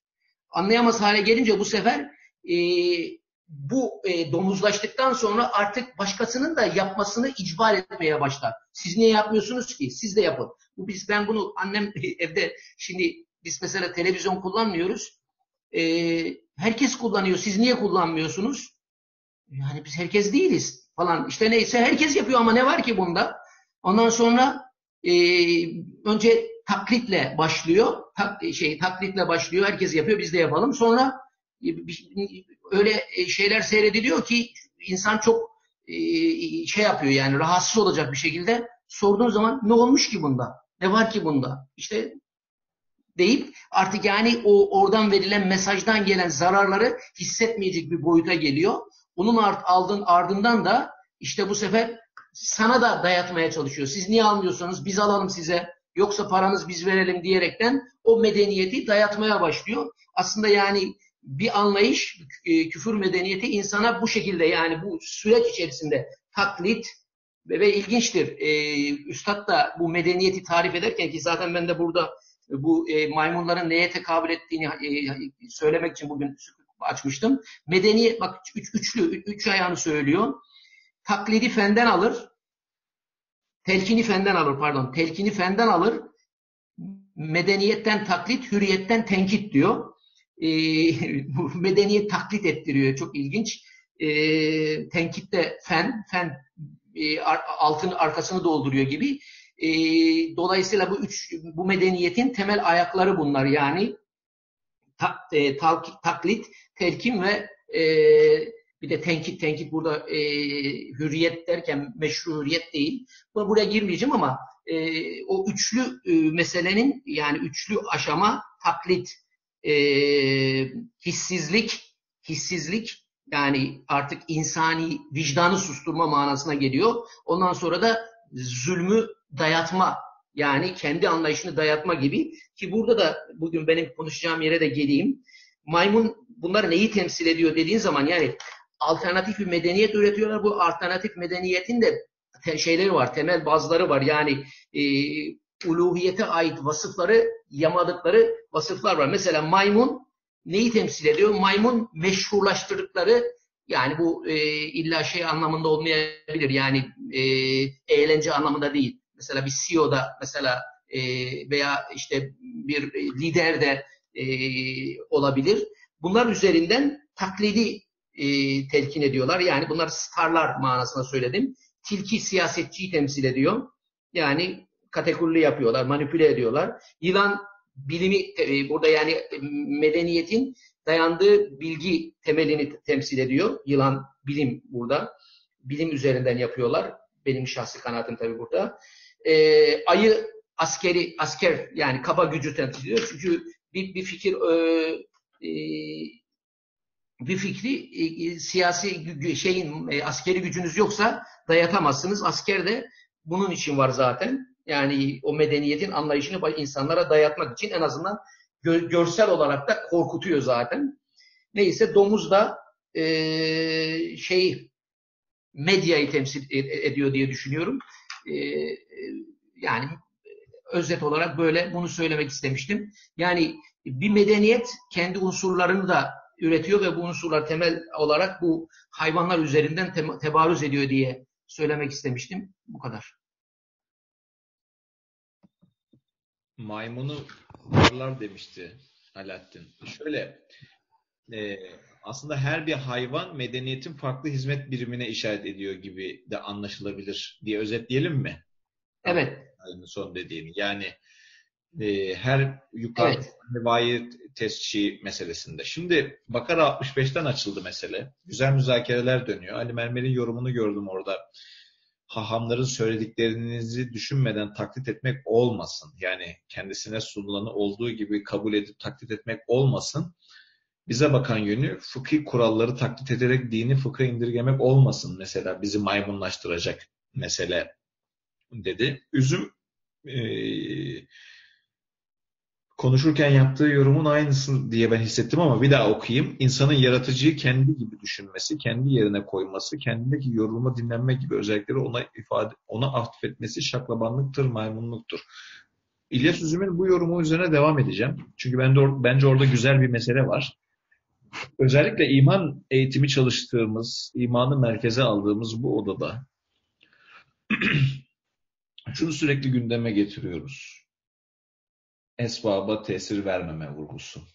Bu niye bu kadar önemli dediğimizde, bunun arkasını irdelediğimizde, nereden besleniyor bu dediğimizde, buna Said Nursi tevhidi ami diyecek. Yani bu kainatın yaratılışını, yani evet canım bir yaratıcı vardır. Bu işler başıboş olamaz arkadaşım. Bu kainatı var eden olmalıdır sonucuna tevhid-i ami diyecek ve tevhid-i aminin her an tevhid-i amiye sahip olmanın çok büyük tehlikelere giriftar olduğundan bahsedecek. Neden? Çünkü büyük hırsızlıklar oluyor e, diye bahsettiği yer var. Şimdi o büyük hırsızlıklar oluyor dediği yerin çok farklı açılardan çalışılabilir. Bizim konumuzla ilgili bakan yönü şurası. Bugün ben hiç başkasından değil de direkt kendimden söyleyeyim size. Kendi hayatımdan bir anekdot paylaşayım. Ciddi bir şekilde Risale-i Nur'la beraber Kur'an'ı anlama çalışmaları yapmaya başlamazdan evvel vahyin rehberliğini deşifre etme çalışmalarına başlamazdan evvel dinlenen bir Allah'a inandığımı fark ettim. Ben dinle aynen az önce İlyas Üzüm'ün bahsettiği gibi dinlenen bir yaratıcıya inanıyormuşum meğersem. Bunu hissettiğim yer şurası olmuştu.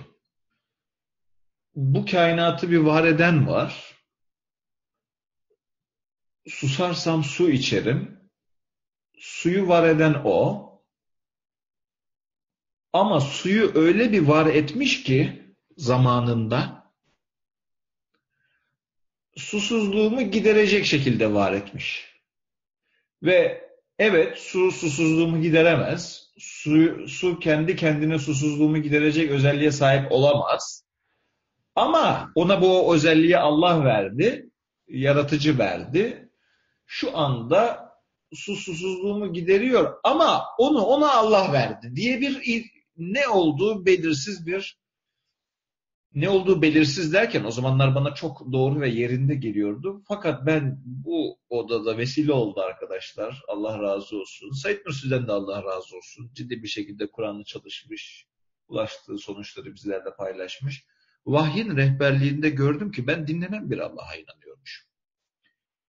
Yani bu kainatı var eden her bir eşyaya özellikleri verdi. Şu an ne yapıyor peki? Şu an biraz daha egzajere edeyim. Şu anda e, Cebrail, Mikail, İsrafil bunlar büyük melekleri. Onlarla beraber işte bekliyorlar. İsrafil düdüğe üflesin diye bekliyorlar. Hepsi yatıyorlar şu anda. Dinleniyorlar. E, yapılacak tek bir şey kaldı. Yani bütün işler bitti.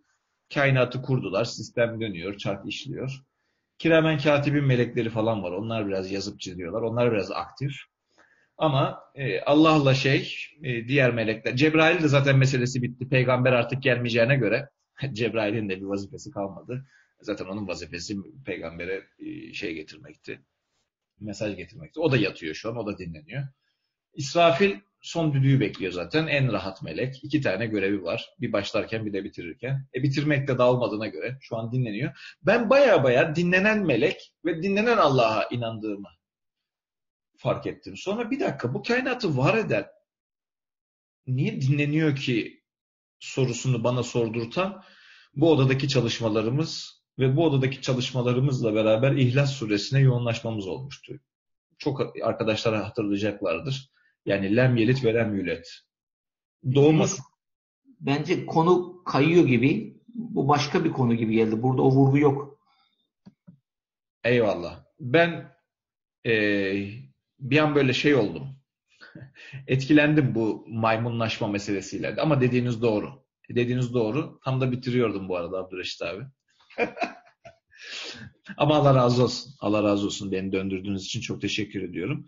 Velhasıl kelam yani bunu bunu nereden edindim dediğimde maymunca taklit ettiğime gelecektim yani meseleyi. Bu böyle bir taklide gelecektim ama konunun özüne geri dönersek şu anda arkadaşların geldiği e, sizin tarif ettiğiniz yere geri dönersek Bakar 65'ten açıldı konu ama mesele neydi?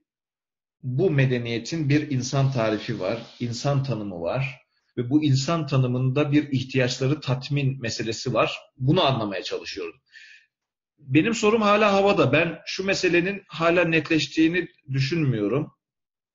Yani en azından o kavramı netleştirmek için yorumlarınızı paylaşırsanız çok memnun olacağım heva ve hevesi teşcih meselesi ve heva ve hevesi teshil meselesi. Yani güzel konular söylediniz. Evet, öyle bir hale geldik ki insaniyeti hayvaniyete indirgedik, hatta nebatiyete indirgedik. Nebatiyeti e, yoğunlaşmanın, bir limite almamanın, insanı hayvaniyetini kısıtladığı, hayvaniyeti limite almamanın beşeriyeti, beşeriyeti merkeze almamanın insaniyeti kısıtladığından bahsettik.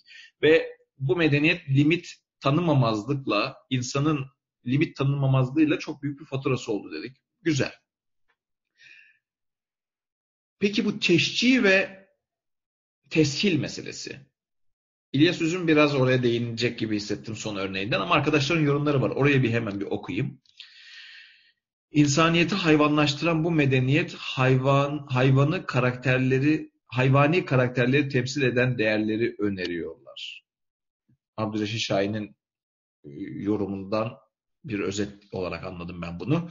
Ahmet Ali insaniyetim ve ruhum hayvan hayvani hayatım içinde, hayvaniyetim dünya hayatı içinde yaratılmış. Burada benim dikkatimi çeken hayvaniyetim ve dünya hayatım insaniyetinde işlenmek üzere ham yani işlenmemiş malzeme vermek için anlamlı hale geliyor. Yoksa insaniyetimi hedeflemeyen, ruhuma gıda oluşturmayan, hayvani ve dünyevi olan hayatın azlığı ve çokluğu bir anlam taşımıyor.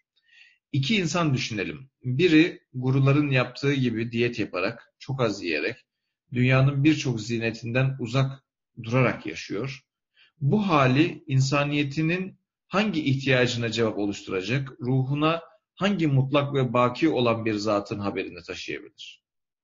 ancak kendisinin ne kadar az ihtiyaçla daha az bağımsız olarak yaşayabileceğini göstermekten öte. Diğeri, hayatını sadece hayvaniyetten ve dünyevilikten ibaret gören biri, tüm ihtiyaçlarını bunlarla sınırlayarak bu dünyada burada tüm ihtiyaçlarını karşılamak üzere stratejisini geliştirerek insaniyetinin sınırsız ihtiyaçlarını dünya ve hayvani ihtiyaçlarını arttırarak konforlu hale getirerek çözüm arıyor. Diğer insan olan insani hayvaniyetinin ve dünya hayatının ihtiyaçlarıyla kendini muhtaç halinde yaratan, mutlak olan yaratıcının aziz bir misafiri olarak kendisini tanıtmak isteyen yaratıcısının ikramıyla ruhunun ve insaniyetinin ihtiyacı olan mutlak bir yaratıcıyı tanımaktan gelen bir sonuca ulaşmak için hayvani ve dünya hayatını yaşar, kullanır olarak gözlemliyorum diyor. Üzümün yorumu reklam özendirme türü. Yani bu nasıl aktive ediyor? Bu duygular nasıl aktive ediliyor? Dediğimizde aslında buna ilk başta Ali Mermer de değinmişti verdiği örnek. Yani merak etme bir gün herkes bunu giyecek diye. Duygularımız, heveslerimiz, hevalarımız ne diyeceksek buna manipüle ediliyor. Buradaki ana konu oydu arkadaşların gündeme getirmek istediğim. Manipüle ediliyor, yönlendiriliyor, aktive ediliyor. Peki burada problem ne dediğimizde insaniyetime hizmet edecek şekilde, insaniyetin hizmet ihtiyaçlarına hizmet edecek şekilde manipüle edilmiyor meselesiydi. Şu an hala o çerçevede devam ediyor. Yakup buyur. Ee, ben öncelikle az önce sizin yaptığınız maymunlaşma vurgusunun e, çok yerinde olduğunu paylaşmak istiyorum. Benim açımdan en azından. Ee, yani dini düşüncede yani dine dair olan tavrımızdaki maymunlaşma, direkt bize bakması açısından çok benim için kritik bir yorum oldu. Allah razı olsun. Abdülreşit abiyi de tebrik ediyorum. Ee, yine şey konuyu tekrardan gündemine e, gündeme getirmemizi sağladığı için her iki tavır da bence doğruydu. Allah razı olsun.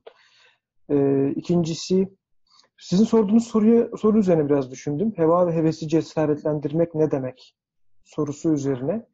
E, buna dair tam düşünüyordum ki siz bana sözü verdiniz. Ulaşabildiğim sonuçları şimdilik paylaşayım. İnşallah devamı e, arkadaşlarla gelir ya da ben devam ederim düşünmeye üzerine. E, heva ve heves benim anladığım kadarıyla insanın içinde potansiyel olarak yerleştirilmiş şeyler ve bunun güçleri çevresel şartlarla e, çeşitli hale geliyorlar. E, yani bu fıtratın içerisine e, sınırsız mutlak bir şekilde konulmuş ancak çevresel şartlarla bir takım kayıtlar konan, bir takım e, e, sınırları olan bir mahiyete sahip heva ve heves dediğimiz şey e, anladığım kadarıyla.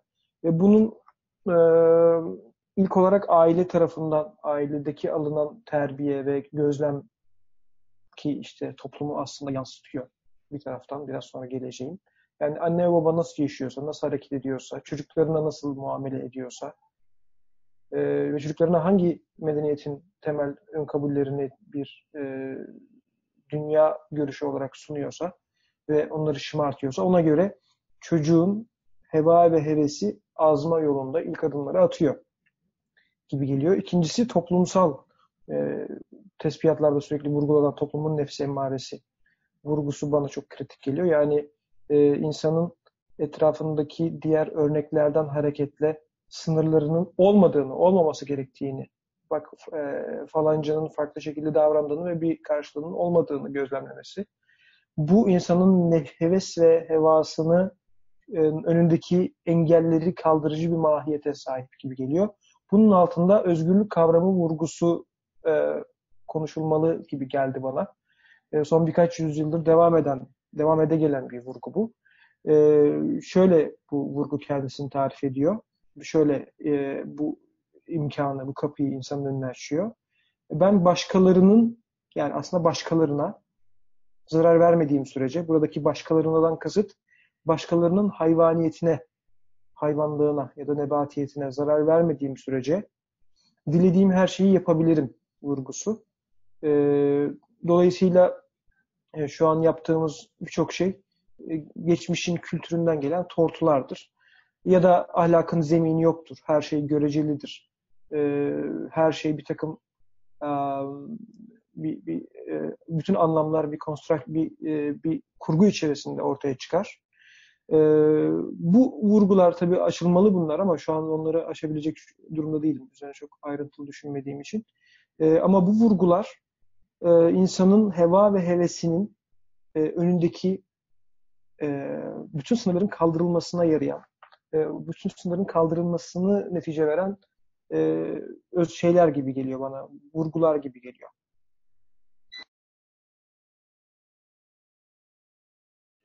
Allah razı olsun. Alaaddin heva ve hevesi insaniyete hizmetkar değil de hizmet edilen konumuna çıkarma olarak yaklaşsak diye yorum yapmış. Çok hoşuma gitti benim. İnsaniyete hizmetkar değil de hizmet edilen konumuna çıkartma. Yani tamamen oraya bir konsantrasyonla alakalı bir mesele var. Üzüm buna örnekler verdi. Suni ihtiyaçlar, sonu gelmez ihtiyaçlar, markalar, her geçen gün yeni modeller meselesi. Abdülreşit Şahin Üstad günahın istibdadından bahsediyor. Heva ve heves tatmin edilmedik, edildikçe insanı devama, devamlı teşcih ediyor veya devama taşçı ediyor. Uyuşturucuların bağımlılık, ha devama cesaretlendiriyor anlamında. Uyuşturucuların bağımlılık yapıp yalancı ihtiyaç oluşturması gibi. Ben şunu zaten e, konuşmak istiyordum açıkçası. Yani hayvan, buradaki hayvan metaforları üzerinden çok güzel açıklamalar yapıldı. Zannediyorum hevanın hevesin teşhisi olması, su, suhulet meselesi biraz oraya girilip biraz daha açabilirdik ama şu yani, bir mana geliyor şu an zihne ve hevesatı ve arzuları tatmin meselesi. Bu içinde yaşadığımız dünyada böyle bir konsantrasyon var. İdeallerimiz nereye yöneldi? İyi hayat dediğimizde ne kastediyoruz? Çünkü iyi iyi hayat, iyi yaşamak dediğimizde insan tanımımız tamamen merkeze giriyor. Muhammed Said'in da dersin en başında gündeme getirdi. Heveslerin tatmini insanı memsuh eder dedi ve sireti değiştirir dedi. Yani ve sureti değişir değil. Yani bu çok önemliydi. Sureti değişir değil, sireti değişir. Yani dışarıdan değil de içeriden değişiyor. Ve insan olarak yaratılmışız. Evet iki tane e, böyle kediye hani yemeği verirsin de hırlaşırlar ya hayvan niyetleri gereği bu mevzu haller ortaya çıkmaya başlıyor. Tenasuh dedi o kavram çok güzel bir ifadeydi. Yani buradaki anlamıyla tenasuh yani bir içe girme, iç içelik ortaya çıkıyor. Manen insanlık bitiyor diye anladım ben onu. Gerçi piyasada atlar var, koyunlar var, kurbağalar var ama bir de insan türü var gibi görünmeye devam ediyor suret açısından. Fakat insaniyet bitmiş oluyor diyor. Bunlar büyük iddialar gibi geliyor bana. Yani evet canlı bilimine göre ben başka bir türüm, kurbağa değilim. E, insan diye bilinen homo sapiens'im ben. E, türde, bu türdenim. İnsaniyetim ama insaniyetim ruhumun getirdiği mesajlardan tamamen uzakta oluyor, farkında mıyız diye bir uyandırma metniydi bu. Gerçekten bu içinde yaşadığımız durumda peki bu seküler, materyalist dünya görüşünün bu düsturu Müslümanım diyen bizler için de kendini nasıl gösteriyor? Bu vartaya düşmemek için nasıl ölçülere sahip olmamız lazım dediğimizde Yakup çok pratik bir örnek getirdi aslında yani en son meselede. Bu nasıl bu duygularımız teşhir ediliyor bağlamında? Çünkü bu analizi ben kendi içimden yapmam gerekiyor. Yani ben sireten maymunlaşmış olmayayım. Arkadaşların yorumlarını hatırlamak için söylüyorum. Dersi bitireceğiz inşallah. Sireten maymunlaşmış olmayayım. Yani taklit ehli mi oldum ben? Sorgulamadan yaşayan, tutturup giden bir hayatın içerisinde miyim? Yoksa tilki miyim? Kurnazlık peşinde miyim? İnsanların veyahut diğer varlıkların zaafından istifade eden, eksiklerini çalışan, o eksiklerinden kendime bir menfaat devşirmeye çalışan bir hal aldım mı ben? Yoksa yılanlaşmaya başladım mı? Zehrimi yaymaya başlayan, içimde yaşadığım yanlışa madem ben bu yanlıştayım o da bu yanlışta olsun diyen bir hal almış durumda mıyım? Ayılaşmış, ayılaştım mı? Yani kaba kuvvet ile hala hazırda yanlış gittiğim, yanlış devam ettiğim bir anlayışı zorla empoze etmenin peşinde miyim ve hınzır meselesi. Yani bu çok açılması gereken bir mesele. Çok enteresan bir meseledir. Yani domuz kavramı çok enteresan bir kavram tamamen his, e, hissizleşmesi, domuz metaforu, insanın domuzlaşması metaforu, tamamen hissizleşmesi meselesi. Bazı meselelere karşı hissizleştiğimizi hissetmiyor muyuz mesela? Bu yaş içinde yaşadığımız tırnak içinde gerçeklik bizi o hale getirmedi mi? Yani mesela bugün metropol şehirlerde yaşayan biri birileri yani tahmin ediyorum bu odadaki şu an odada aramıza herhangi bir ormandan veya köyden çok küçük bir köyden katılan biri var mı bilmiyorum. Tahmin ediyorum çoğunuz şehir hayatı yaşıyorsunuz. Bu şehir anlayışı içerisinde karnı acıkmış birini gördüğünde üzülme duygusunu kaybetmeyen kaç kişi var? Yani burada ben kaybetmedim diye paylaşmayın da. Biz kaybediyoruz çoğu. Bu çok küçük bir örnek. Daha ileri gitmiyorum. Hepimizin zaafları var. Benim de olduğu gibi Zülfiyar'e dokunmanın bir alemi yok. Ama duygularımız ölüyor. Hassasiyetlerimiz kayboluyor. Bunun farkında olalım dedi arkadaşlar. Ben çok önemsedim o yüzden. Alaaddin insan hayvani ihtiyaçlarını, heveslerini, arzularını varlık amacı ekseninde değerlendirmeyip onları bizzat amaç edindiğinde o hevesler, arzular, hayvani ihtiyaçlar heva oluyor. Ve böyle yapıldığında insan bedeni, suret, içine hayvan giriyor, tenasüh ediyor. Biz zaten öyle bir hal aldık ki yani bizim ihtiyaçlar hiyerarşisi dedik ki ona. ihtiyaçlar hiyerarşisinde adına din dediğimiz olgu ya liste varsa rahmet. Rahmet okuyalım. Yani en azından ahireti de kaybetmeyelim canım şeklinde içinde bir bu ihtiyaçlar hiyerarşisinde rahmet varsa e, din varsa rahmet okuyalım. Ama adına din dediğimiz meselenin anlam örgüsü olduğunu, bu hayatı bir anlama ve anlamlandırma biçimi olduğu teklifiyle karşılaşmayadığımız zaman gerçekten o imanın lezzetini yaşayamıyoruz. Papağan gibi Kur'an okuyoruz diyor Abdülreşit Şahin. Geçenlerde bir arkadaşın bir önerisi vardı. Efela yakilun ayetini ezberletseniz papağana diye. yani bir papağan hiç düşünmezler mi diye hani tamamen insana konuştuğunu düşündüğümüz bir ayeti ezberlese Efela yakilun ayetini okumasıyla senin Efela yakilun ayetini okuman arasındaki fark nerede yatıyor? Diye bir soruydu. Onu hatırlattı bana yorumunuz. İslam'ı taklit olarak uygulamak da aynı hastalığın emareleri gibi. Evet. Ona yukarıda Ali Mermer'in bir örneği vardı fıkra indirgeme meselesinde. Çok özür diliyorum. Vaktimizi çok geçtik. Ahmet Ali'nin yorumunu üzerine ne kadar durabilirim bilmiyorum ama hemen okuyup dersi sonlandıracağım. Hakkınızı helal edin şimdiden. İnsanın içine konulmuş değerli olma, özel olma, farklı olma, duygularını eğer duyguların varlık kaynağını sorgulamadan varlık kaynağını tanıma adına kullan, kullanmazsa kainatı boş, kainat boşluk kabul etmiyor. Hazır medeniyetin bu duyguları hedef kitle seçerek ürettiği malları pazarlama teknikleriyle, reklam spotlarla kendini özel hissetmek isteyenler var. Ey gelin tarzında diyorsun anlamında. Sen diğerlerinden farklısın. Senin yakınında her zaman biz olduk ve bundan sonra da biz olacağız sloganlarıyla avlıyor. Farklı ve özel olmak için aldığım bir ürünü dışarıya çıktığımda herkesin üzerinde görüyorum. Beni düşünenlerin bana verdikleri kedilerin benden, kredilerin benden kat kat kanımı emercesine geri aldıklarına şahit oluyorum. Tam maskara oluyor. Çok güzel bir örnek. Sadece şunu konuşmadık bu duygunun bizde var olması değil problem. Yani özel olma hissiyatını tatmin olması gerekiyor hakikaten. Vahiy buna sen halifesin diyerek insanın bu duygusuna konuşacak. Seküler medeniyetin yani vahiysiz medeniyet anlayışının zaten özel en temel özelliği nedir?